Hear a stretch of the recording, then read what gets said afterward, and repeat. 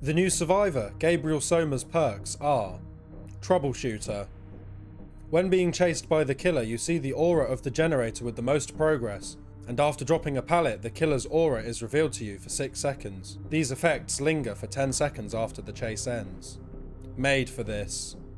When you're injured, your movement speed is increased by 3%. You also gain the endurance status effect for 10 seconds after healing another survivor. Made for this cannot be used when exhausted.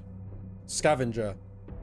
While holding a fully depleted toolbox, Scavenger activates. Succeeding at a great skill check while repairing a generator grants a token up to a maximum of 4. Once you've reached 4 tokens, your toolbox will be fully recharged and the perk is disabled for the remainder of the trial.